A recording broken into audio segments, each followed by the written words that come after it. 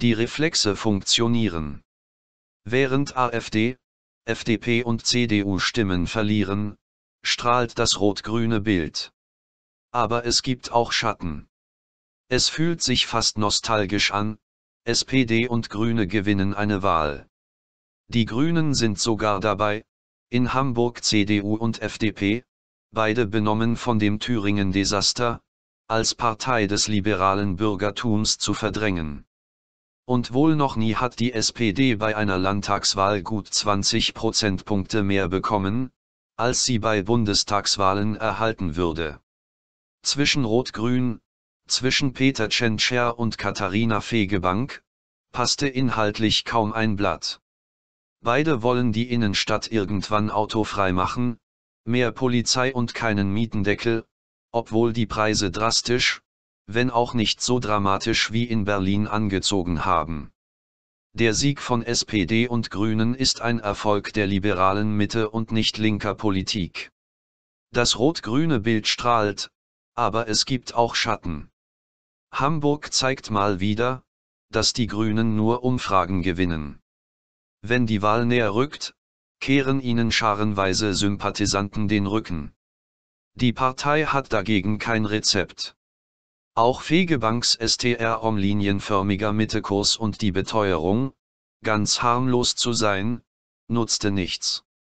Den SPD-Erfolg konnte sogar der schlimme Verdacht, das Cum-Ex-Verbrechen einer Bank lässig gehandhabt zu haben, nicht verhindern. Dabei mag Tschentschers Image eine Rolle gespielt haben. Er wirkt wie ein korrekter Angestellter, der sich nichts zu Schulden kommen lässt. Dieser Melas war angesichts des Cum-Ex-Verdachts eher ein Bonus. Der Skandal perlte an Tschentscher, der damals immerhin Finanzsenator war, einfach ab. Hanau zeigt, wie gefährlich die AfD ist. Sagt der Erfolg in Hamburg etwas über die SPD-Krise? Die urbanen Milieus sind das letzte Biotop, in dem die SPD mehrheitsfähig ist. Sieben der zehn größten Städte der Republik werden weiterhin sozialdemokratisch regiert. Allerdings, mehr zeigt Hamburg nicht. Die dortige Sozialdemokratie ist etwas Besonderes, eine Art Staatspartei. Dieser Erfolg ist kein übertragbares Modell. Und weder Bestätigung noch Dementi des neuen, moderat linken Kurses von Saskia Eskan und Norbert Walter Borjans.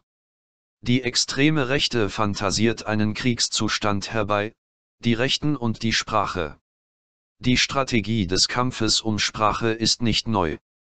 Zum ersten Mal für die extreme Rechte hat ihn die Novelle Dreute, die neue Rechte, in Frankreich, in den 50er und 60er Jahren ausformuliert. Statt sich um Wahlerfolge und Parlamentssitze zu bemühen, verlegte man den Kampf auf die kulturelle Ebene.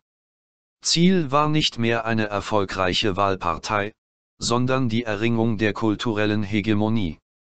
Diese Strategie von rechts basiert auf den Ideen des marxistischen Theoretikers Antonio Gramsci. Gramsci formulierte im Gefängnis des italienischen Faschismus seine Hegemonietheorie aus. Demnach reicht es nicht, sich an die Spitze des Staates zu putschen, vielmehr müssen die eigenen Vorstellungen einer guten Gesellschaft auch von dieser akzeptiert und als legitim angesehen werden.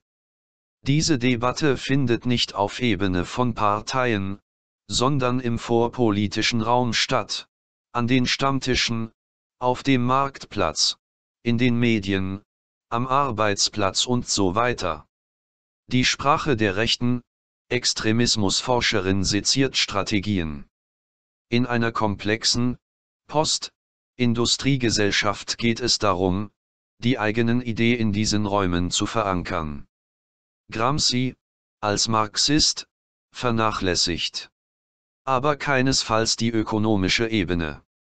Zugleich geht es bei ihm in einem sehr demokratischen Ansatz darum, alle an diesen Debatten teilhaben zu lassen. Die Novelle Dreute nimmt Gramscis Theorie und macht sie für rechts nutzbar. Dabei geht jeder ökonomische und demokratische Ansatz verloren.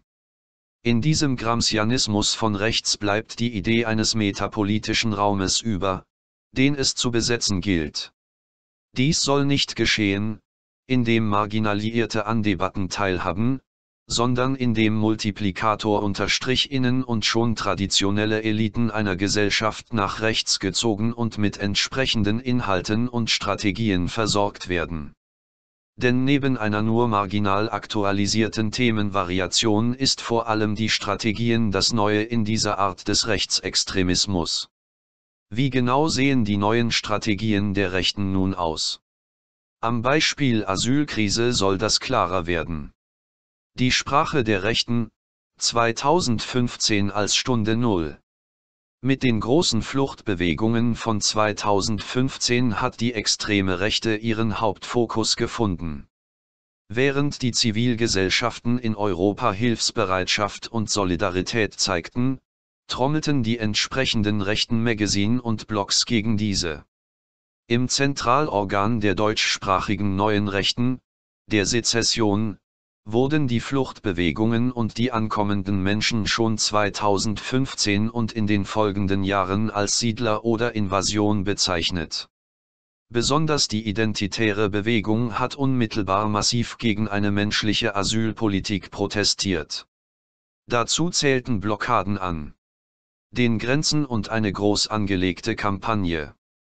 Mit Slogans wie Stoppt den großen Austausch, Nove, angelehnt an eine Kampagne der australischen Regierung, die Flüchtlinge zur Umkehr bewegen soll. Oder dem Hochhalten der Festung Europa wurde auch sprachlich aufgezeigt, wo es in den Jahren darauf hingehen sollte. 2015 ist die Situation, die nie hätte eintreten dürfen. Sie ist eine Niederlage. Die Stunde Null, ab der die aktuelle Zeitrechnung anfängt. Martin Sellner, Kopf der Identitären Bewegung Österreich und Chefideologe der Identitären, beschreibt das Jahr 2015 in seinem Nachwort zur Revolte gegen den großen Austausch mit Texten von Renaud Camus, das 2016 erschienen ist, in epochalen Worten, die beispiellose Flüchtlingsflut 2015 ist wie ein Albtraum über Europa hereingebrochen. Die öffentliche Stimmung drehte sich, als große gesellschaftliche Akteur unter Strichinnen dieses Katastrophennarrativ übernahmen. Dies geschah vor allem nach der Silvesternacht von Köln 2015-16, die sinnbildlich für vermeintlich importierte Frauenverachtung und gescheiterte Integration steht. Die Sprache der Rechten, die Rationalisierung der große Austausch. Das Konzept des großen Austauschs wurde von dem französischen rechtsextremen Philosophen Renaud Camus entwickelt. Populär wurde es durch die Kampagnisierung der Identitären. 2016 erschien im Antheos Verlag von Götz Kubacek ein Büchlein mit verschiedenen Reden und Schriften von Camus, das den Titel Revolte gegen den großen Austausch trägt und mit Fahnen der Identitären bebildert ist. Die Veröffentlichung traf genau mit den Fluchtbewegungen von 2015 und den rechtsextremen Mobilisierungen der Identitären zusammen. Schon auf diesen inszenierten sich die Identitären als Kämpfer gegen einen vermeintlichen Austausch. Auf Transparenten, in Interviews, auf Stickern, in Videos, T-Shirts und auf Flieren machten sie dies deutlich. Der große Austausch, wie ihn Camus beschreibt und die Identitären kampagnisieren und als ursächlich für die Fluchtbewegungen sehen, ist eine rechtsextreme Verschwörungstheorie.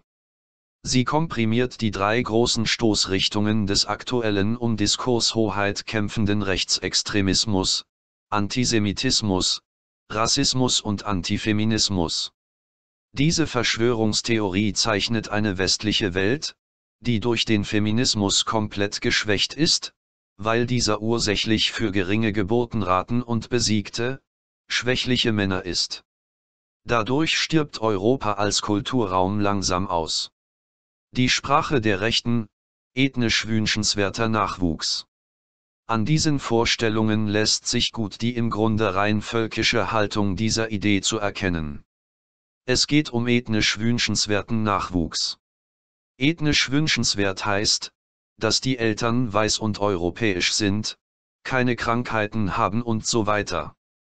Ohne Feminismus würden Frauen nicht auf Ideen wie finanzielle Unabhängigkeit oder Arbeiten oder Verhütung kommen und ihrer eigentlichen Rolle gerecht werden, der des Kinderbekommens.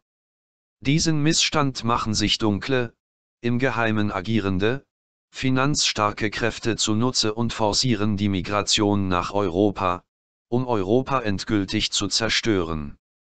Rechtsextreme stellen diese ominösen Kräfte oft mit Hilfe der Person George Soros dar. Hier ist klar die uralte und auf die Protokolle der Weisen von Zion zurückgehende Verschwörungstheorie der bösartigen und zersetzenden Juden und Jüdinnen zu erkennen. Dieses Matchwerk ist eine der bedeutendsten geistigen Grundlagen für den eliminatorischen Antisemitismus des 19. und 20. Jahrhunderts. Um Europa zu zerstören, werden intellektuell unterlegene, so die Deutung, aber körperlich viral Menschen in koordinierten Aktionen nach Europa gebracht. Die rassistische Konzeption der jungen, virilen Männlichkeit der Flüchtlinge ist der direkte Kontrast zur antisemitischen Konzeption von gewitzten, aber feigen und körperlich schwachen Juden und Jüdinnen, die im Verborgenen agieren. Diese gefährliche Mischung verbreitete sich schnell als Legitimation für das eigene Handeln der extremen Rechten auf der ganzen Welt. In Christchurch ermordete 2019 ein rechtsextremer Terrorist 51 Menschen und hinterließ ein Manifest, das den Namen The Great Replacement trug. Dieser vermeintliche Austausch ist der Grund seines Handelns. Auch der Terroranschlag in Halle im selben Jahr mit zwei Todesopfern wird mit einer Abwehr des großen Austauschs legitimiert. Aber auch ein Politiker wie Björn Höcke spielt auf der Klaviatur dieser Verschwörungstheorie, wenn er Folgendes bei einer Wahlkampfrede am 14. Juli 2019 sagt, die sogenannte Einwanderungspolitik, die nichts anderes ist, als eine von oben verordnete multikulturelle Revolution, die nichts anderes ist, als die Abschaffung des deutschen Volkes. Strategie 1 Entmenschlichung durch Naturkatastrophen. Eine Strategie, die bewirkt, dass die geflüchteten Menschen nicht mehr als Ansammlung individueller Schicksale gesehen werden, will diese Personen entmenschlichen. Die Mittel dazu sind Vergleiche, Analogien oder Frames. Damit werden unterschiedliche Sachverhalte gleichgesetzt. Begriffe wie Tsunami, Flut oder Welle werden dann auf Menschen bezogen. Das wird nicht nur in Überschriften von Boulevardzeitungen so gemacht, sondern aktiv von der extremen Rechten befeuert. Eines der bekanntesten Memes der extremen Rechten um das Jahr 2015 verglich Flüchtlinge mit einem Wasserrohrbuch. Die Punchline war, dass man sich bei einem Wasserrohrbruch nicht noch zusätzlich Wasser in die Wohnung schüttet, außer in einer linken Logik. Strategie 1. Das Framing in der Sprache. Framing ist die rhetorische Technik, etwas sprachlich so einzurahmen, dass es immer zusammen gedacht wird, ohne dass man den Zusammenhang explizit herstellen muss. Das passiert etwa, in dem Asyl und Flucht immer unter der Überschrift Sicherheit diskutiert werden. Damit sind wir in einem Sicherheitsframe, der eine andere innere Logik besitzt als etwa ein Menschenrechtsframe oder ein Nächstenliebeframe. Eine Unterspielart des Sicherheitsframes ist der Naturkatastrophenframe, der auch gleichzeitig eine sprachliche Eskalation bedeutet. Denn Flüchtlinge sind dann nicht mehr nur, grundsätzlich ein Sicherheitsproblem, sie sind eine große Katastrophe, gegen die man sich kaum wehren kann. Im kollektiven Gedächtnis von Gesellschaften sind viele ikonische Bilder von Naturkatastrophen abgespeichert. Sei es die großen Hochwasser der 90er und 00er Jahre. Seien es die Hurrikans in den USA oder die Waldbrände in Australien. All diese Bilder lösen Angst und Beklommenheit aus und erinnern an die Opfer, Schäden und großen Anstrengungen, die es im Wiederaufbau gebraucht hat. Nach Krieg und Terror sind Naturkatastrophen die traumatischsten kollektiven Ereignisse. Wenn Flüchtlinge jetzt in sprachliche Nähe dazu gesetzt werden, dann macht man sie zu einem großen Angstfaktor, gegen den man sich als Gesellschaft stellen muss. Wir oder sie. Es kann kein Miteinander geben.